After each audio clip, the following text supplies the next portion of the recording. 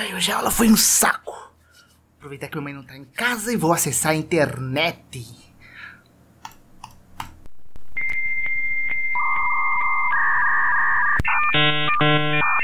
Tomara que ninguém ligue pra cá porque o telefone vai estar tá mudo, mané. Agora vamos embora de gameplay.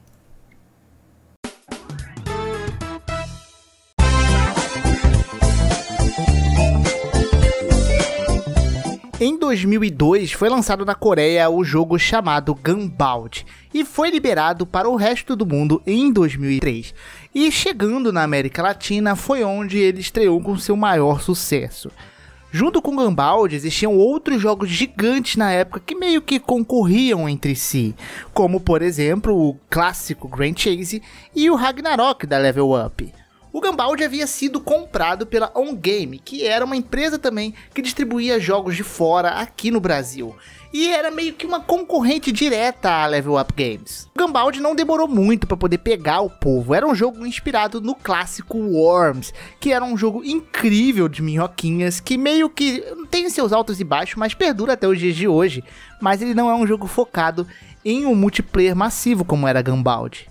A mágica do Gunbound é que o jogo era muito facinho de você aprender, porém muito difícil de você masterizar. Aqui nós tínhamos os mobiles, que eram os carrinhos do jogo, e que a gente tinha uma seleção de vários deles. Cada um possuía ataques diferentes, defesas melhoradas, formas mais difíceis ou mais fáceis de jogar. Alguns, por exemplo, eram muito mais difíceis de você acertar o tiro por causa da diferença de vento, alguns eram muito mais afetados e era muito mais difícil você masterizar esses carrinhos. Porém, quando você acertava, o dano era absurdamente incrível. O Gambald meio que já pegou inicialmente a galera lá nos meados de 2004, 2005 e fez um sucesso estrondoso no Brasil. O jogo ele era muito simplesinho, é muito tranquilo de jogar. Basta você apertar e segurar, carregar a barra, ajeitar a sua mira e pronto, você atirou com o bonequinho. Além disso, era só treino e prática para ficar bom o jogo também possuía o vento que ia em várias direções e mudava, e isso mudava a força do seu tiro. Depois foram adicionados tornados, onde mudava a trajetória do tiro, e os satélites que ajudavam no dano. Quando algum satélite estava ativo, por exemplo, o dano era muito maior quando você acertava o seu adversário. Bem, mas tudo bem, talvez seja nostálgico não tão para você o Gambald. Se você é o cara que nasceu um pouco depois, no começo dos anos 2000, por exemplo, eu tenho 28 hoje, mas se você é um cara que tem 22, muito provavelmente você não pegou, talvez, a época do Gumball, mas tu pegou a época do Diddy Tank, que foi outro jogo que surfou muito na onda do Gumball, no sucesso do Gumball, mas que naquela época, para quem jogava Gumball, o Diddy Tank não era a mesma coisa. E tinha aquele preconceito porque ele era um jogo de navegador, mas aquilo foi genial porque agariou muito público na época. Enfim, mas não era só disso que era o Gambald, não era só um joguinho de avatares dando tiros. Por exemplo, você tinha os levels do Gambald que era algo extremamente único para o jogo. No jogo você começava em diversos níveis, mas não eram numerados, level 1, 2, 3, como a grande maioria dos jogos e sim eram ícones. Então, o jogador mais básico, assim que você começava o Gambald, você começava como pintinho. Pois é, tinha um íconezinho de um pintinho. Inclusive, tinha um meio que um emoticon na época que você usava o cedilha e o sinalzinho de maior, que era para desenhar meio que um desenho de um pintinho no jogo. E isso era muito usado para as pessoas que eram meio que noobs. Você podia não ser pintinho, mas quando tu perdia para alguém, o cara ia lá e mandava o cedilha e o negocinho maior, sabe? Isso daí era meio que o equivalente ao GG Easy de hoje em dia. E aí você ia evoluindo, você pegava os machadinhos, martelinho de madeira, você evoluía para os machadinhos, até chegar nos que eram considerados melhores jogadores, que eram os cetros, via para os cetros de safira, cetro de rubi, e tinha os dragões, sendo o último o dragãozão de prata. E o bizonho, porque, tipo, você pegar esses levels não era só você jogar muito e eventualmente você ir evoluindo, não. Quando chegava nos cetros, por exemplo, existia um número limitado de pessoas que poderiam ser deste level. Então você tinha que superar os jogadores que estavam ali, meio que para você entrar naquele ranking. E aí nos dragões o negócio ficava mais bizarro ainda. Porque os dragões eram os top 20 jogadores do jogo. Então você tinha, por exemplo, o dragão azul, que era entre o jogador número 6 ao jogador 21 com melhor pontuações no jogo. E o dragão vermelho, que era o top 5, basicamente, jogadores. E tinha o dragão de prata, que era um único jogador que alcançava esse nível e era considerado, óbvio, o melhor jogador de Gambald. Isso era muito status na época. Tão status na época que rendeu uma matéria no Fantástico. E não por causa dos status, porque conseguiram de alguma forma descobrir quem era esse top player, esse dragão de prata na época, e armaram uma armadilha para ele. Chegaram, colocaram uma menina numa webcam e marcou meio que um encontro para ele. Na verdade, era um sequestro. Tudo isso para roubar a conta do cara, velho. Na época, isso ocorreu mais ou menos em 2008. E a conta dele poderia ser negociada de 15 mil para mais. Há 15 anos atrás, 15 mil era muito mais grana do que no dia de hoje. Então, sim, isso rendeu matéria no Fantástico na época. Foi bizarro. Porque o jogo era muito popular, velho. Você não tem noção. La Firma é o nome de uma gangue de internet, formada por jovens de classe média, que ameaçava e roubava jogadores deste game, um dos mais conhecidos da rede. Bem, a gente teve depois, né, do Thor's Hammer, o lançamento do World Champion, que foi o WC, como muitos chamam, que foi considerado ali a melhor época do Gambald, porque aqui tiveram adições bem legais, como reformulação do menu, onde o menu ficou muito melhor que o menu da primeira versão, e também a adição de dois novos mobiles, que foi o J-Frog, que é o sapinho que cospe uma gosma no chão e ela cola e vai rolando até acertar o alvo, e também o tratorzinho. Eu sempre esqueço o nome dele e eu não jogava muito com ele não.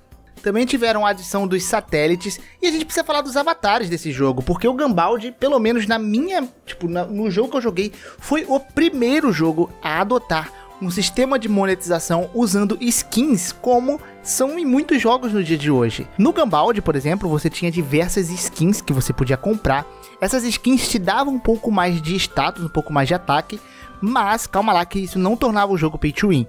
Nessas skins você podia alugar elas também. Então você podia comprar ela por 15 dias, por exemplo, uma semana, se eu não me engano, e eternamente. Só que eternamente, pra você comprar skin, é um negócio extremamente caro. Existiam várias skins icônicas e uma delas que eu mais gostava e que eu nunca tive porque eu não tinha dinheiro na época era a skin do Napoleão. E para mim aquela skin do Napoleão era o status do negócio. Claro que tinha skins mais caras, mas aquilo era absurdo. Mas como eu falei, as skins ela davam meio que um atributozinho, né, uma vantagenzinha pro personagem que estava jogando, controlando o carrinho. Mas o jogo tinha uma solução para isso, porque existiam diversos servidores no jogo. E um desses servidores era chamado de Avatar Off. Era um servidor que você podia usar o avatar, mas os efeitos não eram aplicados. Ou seja, era a pura e clássica forma da skin dos jogos de hoje funcionando no Gambald. E era essa a principal forma de monetização do jogo. E aí, o WC foi a época mais popular do Gambald, mas também foi a época em que mais que a gente teve um dos grandes problemas do jogo, que eram os trapaceiros, os hackers no jogo. Nessa época, o negócio ficou tão popular que eu acho que era uma competição de qual jogo tinha mais cheaters, se era o Gambald ou se era o Grand Chase. E depois aquele Combat Arms lá entrou na junto também, mas isso daí foi um pouco depois. E os hackers do Gambald ia de hackers aqueles clássicos, onde era o clássico aimbot, que você marcava o inimigo, ele te mostrava a força e a trajetória certinha do tiro, então você não errava tiro basicamente, o que deixava os jogadores muito frustrados, mas em muitos casos, às vezes era difícil identificar principalmente nos elos mais altos, porque os elos mais altos, né, os levels mais altos, as pessoas jogavam melhor. Então tinha os caras que acertavam um tiro ou outro, erravam um tiro ou outro e dava aquela disfarçada. E era muito difícil um game conseguir pegar esses caras, o que acabou inundando o servidor com cheaters. Mas antes o aimbot fosse o único problema. Porque no Gambald existia uma parada que se chamava Double Kill, que era quando você, por sorte, conseguia eliminar dois inimigos de uma vez só. Era algo que era bem raro de acontecer. E tão raro de acontecer que quando isso acontecia, aparecia gigante na tela do servidor. O jogador X fez Double Kill. E isso era divulgado por servidor inteiro. E surgiu um cheat disso, porque o double kill dava muito ponto pro jogador, muito GP, né, que era a moeda do jogo. E quando você fazia double kill, você ganhava muito bônus disso. E surgiu um hacker disso, que todo hit que você dava, não importa se isso era double kill ou não, você ganhava double kill. E você ganhava muito ponto. E o engraçado é que isso era divulgado no servidor. Então no servidor você tinha tipo jogador X, jogador X, jogador X, o mesmo jogador toda hora fazendo 5 double kills seguido. Era muito fácil de banir os caras. E o game não bania, velho. Depois de um tempo surgiu um que você conseguia mudar o nome que aparecia lá. Aí já era muito mais difícil de descobrir. Mas era um jogo que eu não entendo por que não combater os hackers, porque tinha muito hacker que era visivelmente fácil de achar, bastava o GM ficar online olhando a lista de double kills. E isso não acontecia, não sei por que raio de motivo. Talvez os hackers movimentavam muito o servidor e dava dinheiro. Eu não sei, velho, mas isso daí foi um dos grandes problemas do Gambald, mas não foi o principal motivo de fazer o jogo morrer. E a partir de agora, nós chegamos no, no começo do fim do Gambald, onde ele começou a ser estragado. E nós chegamos na Season 2. Pois é, antes os nomes não eram por Seasons, era um nome diferente. Thor Ramos, World Champion. E aí eles nomearam com Season 2. Que foi onde o jogo começou a desandar e a maioria dos jogadores de Gumball já abandonaram nessa época, enjoaram do jogo dessa época ou ficaram extremamente insatisfeitos com o jogo nessa época. O jogo adicionou novos avatares, mas tinha um probleminha. Esses novos avatares agora, eles eram pagos, então você tinha que pagar para ter esses avatares. Mas entrou outro grande problema. No Gumball original, você tinha os itens. Os itens você selecionava no menu antes de começar o jogo, né? Você tinha aquela variedade de itens. Vou fazer uma Vou fazer um paralelo aqui. Sabe o Ignite, o Smite do LoL, por exemplo? Então, era mais ou menos isso. Você escolhia qual item você queria, você usava. O mais usado, por exemplo, era o item que você podia dar tiro duplo. Então você tinha três itens que você podia usar durante aquela partida. E um deles era o tiro duplo que você usava quando você tava com a mira bem certinha no cara e não de forma arriscada, né? Mas aí o jogo adicionou o tal do item 2. E aí começou o problema. Porque o item 2, eles eram pagos. Na verdade, você conseguia com moedas do jogo, mas era muito mais difícil e eles acabavam rápido, porque eram itens consumíveis. E você podia usar eles na partida. Ou seja, a galera que tinha mais dinheiro para pagar tinha sempre itens 2 à disposição, o que dava uma clara vantagem aos jogadores na partida. E aí foi quando começou a decadência, porque o Gambald até então, ele não tinha nenhum elemento de pay to win todo mundo podia jogar, mesmo sem pagar, de forma igual e subir no rank. E a partir do item 2, o negócio desandou, e desandou bastante.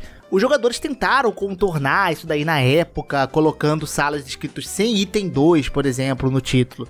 Mas isso não garantia nada, porque o cara podia entrar, o cara não ia usar item 2, mas o, o, cara que entrou na sala ia aproveitar dessa situação e ter uma vantagem para querer subir o seu nível. Inclusive tinha um item 2, por exemplo, que dava mais defesa, mais ataque, por aí vai.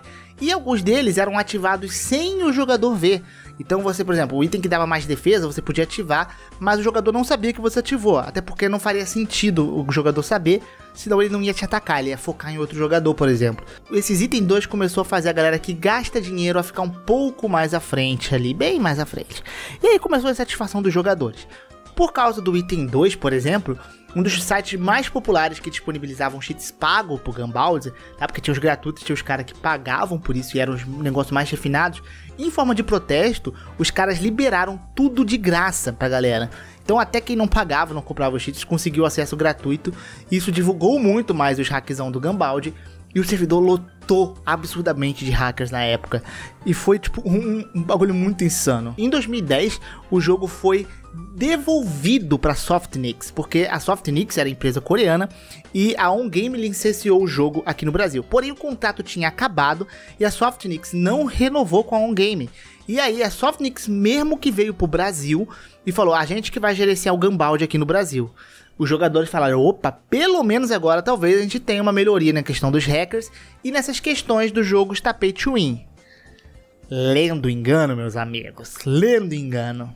O jogo só continuou piorando daí pra frente. Season 2, Season 3 lançou novos personagens, novos é, carrinhos, mas eram carrinhos horríveis, mal feitos, e os dois que lançaram eram pagos e tinham dois gratuitos. Os gratuitos eram a coisa mais horrorosa desse mundo lançaram avatares agora muito mais poderosos, com atributos cheios ali, que você ficava muito poderoso. Lançou é, formas de você fazer o mobile up, que era você upar o seu carrinho.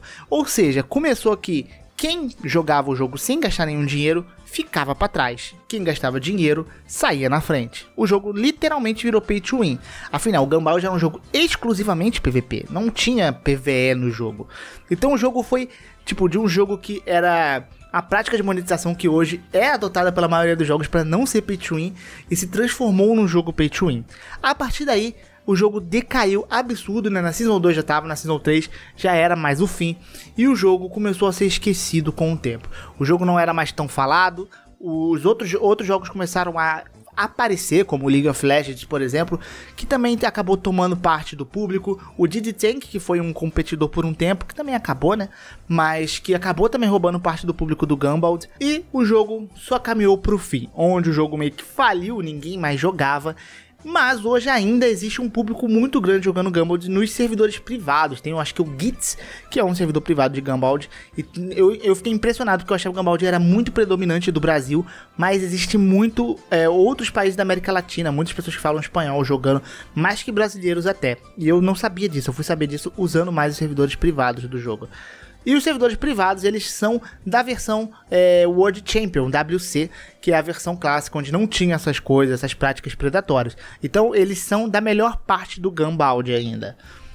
E aí foi o fim do Gambald. Hoje existe um novo Gambald, que é o Gambald Mobile, que eu particularmente não me interessei em jogar, embora dos designs renovados, ele tenha ficado mais bonitinho, pelo que eu vi, o jogo não é bom. Ele possui meio que um assistente de mira, um aimbot dentro do jogo para facilitar, o que deixou os jogadores bem frustrados com isso. E os jogadores do clássico do Gambald não compraram a ideia do Gambald M que foi lançado para mobile. E ele ficou ali também esquecido. E esse é o fim de um dos jogos mais nostálgicos, de um dos jogos mais jogados pela população desse Brasil nas épocas das Lan Houses, só nas épocas que você tinha PC em casa mesmo. Era um dos jogos mais dominantes. E simplesmente por práticas erradas, um jogo que poderia talvez estar sobrevivendo. Tudo bem que tudo tem seu tempo, tudo passa, mas um jogo que numa época que a maioria dos jogos era pay to win, ele conseguia contornar isso. Hoje em dia, talvez ele ainda sobreviveria com novas atualizações boas, melhorias gráficas. Saber andar no tempo, saber avançar no seu tempo e manter o seu público e manter as suas origens ao mesmo tempo que consegue fazer mudanças atuais. Mas o, a ganância falou mais alto e no fim essa extrema ganância levou ao fim do jogo, que poderia talvez ter lucrado muito mais com o tempo.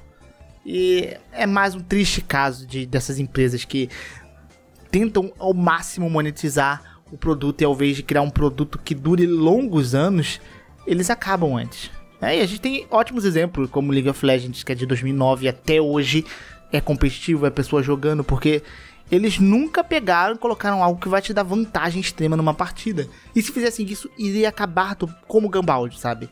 Então, esse é o fim do Gambald, um dos jogos mais nostálgicos que eu adoraria jogar.